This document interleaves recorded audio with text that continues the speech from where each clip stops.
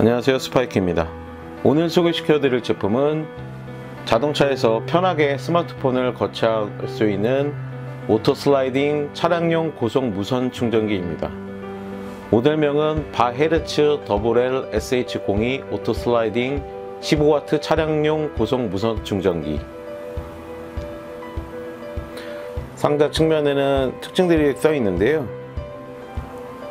어, 과전류 방지, 과충전 방지, 과전압 방지, 자동 슬라이딩, auto sliding, 아 같은 말이네요. 자동 슬라이딩, 수동 슬라이딩, 다음에 고속 아, 무선 고속 충전 15W. 우선 제품 외형부터 살펴볼 텐데요. 바헤르츠 auto sliding 본체입니다. 우선 내부에 배터리가 내장되어 있어서 현재 전원 연결이 안 돼 있어도 작동은 됩니다. 이 기능이 장점은 뭐냐면 자동차의 시, 시동을 껐을 때 스마트폰을 못 빼기 때문에 시동을 다시 걸지 않아도 내장된 배터리로 움직여서 스마트폰을 뺄 수 있게 되는 거죠. 상단에 있는 수동 버튼 측면에 오른쪽 왼쪽에 수동 버튼 그 다음에 스마트폰이 거치됐을 때 상처가 나지 않도록 고무 패드가 부착되어 있고요. 이렇게 눌러주면 닫히고 정면에 있는 버튼을 다시 눌러주면 열리고.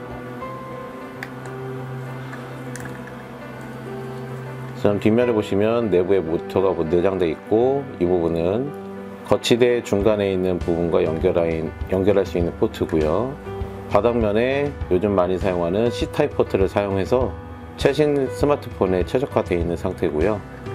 우선 제품 거치하는 방법들부터 먼저 살펴볼 텐데 이 두 가지는 송풍구, 송풍구에 사용할 때 하는 거치대입니다. 단독으로 사용을 해도 되고요. 이 부분을 돌려주면 중간에 있는 걸쇠가 줄어들었다 늘어났다 합니다 그리고 여기에다가 바로 본체를 연결하셔도 되고 송풍구에 거치한 상태에서 중간 거치대를 이용해서 원하는 각도와 방향을 틀어줄 수도 있습니다. 다시 이 부분을 뒷면에 꼽아서 송풍구에 거치한 상태에서 원하는 각도에다가 사용할 수 있게 되는 거죠. 대시보드에 사용하는 거는 흡착 패드 방식이고요. 아이고 이 부분에 이렇게 하면 길게 더 길게 할 때는 이 부분을 풀어줘서 최대한 길게까지도 사용이 가능합니다.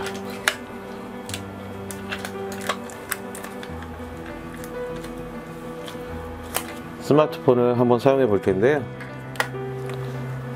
예, 원하는 각도의 모양을 잡고 고정을 하고.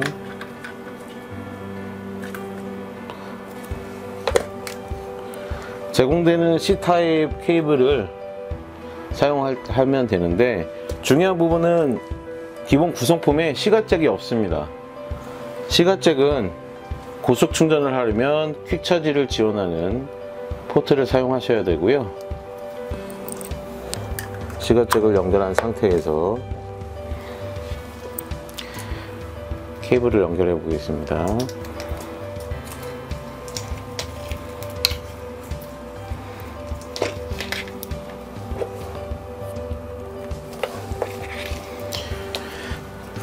본체 바닥에 케이블을 연결하게 되면 이렇게 파란 LED가 들어오면서 상태가 가능, 아, 사용이 가능한 상태를 알려주고요. 이 상태에서 스마트폰을 거치하려면 버튼을 한번 눌러서 그렇군요.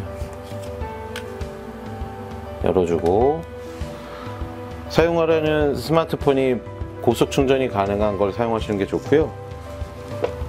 저는 G7과 노트 10 플러스를 사용합니다. 우선 G7도 고속 충전이 되는지 확인해 보겠습니다.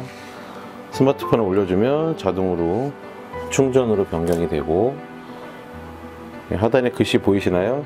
무선 고속 충전 중이라고 뜹니다. 거치된 상태에서 측면에 있는 버튼을 눌러주면 자동으로 열리고 빼고 이번에 노트 10을 10 플러스를 이용해서 한번 사용해 보겠습니다. 자동으로 잡아주고 지금 충전 상태가 99%라서 표시가 안 되는데 노트 10 플러스도 제품 자체가 15W까지 지원되기 때문에 원래 충전이 되고 있는 상태에서는 무선 고속 충전 중이라고 뜨게 됩니다. 네, 지금까지 제품 자체를 한번 살펴봤고요. 자동차에서 사용하는 부분도 블로그에서 다시 한번 자세하게 리뷰해 보도록 하겠습니다. 네, 지금까지 스파이키였고요. 네, 감사합니다.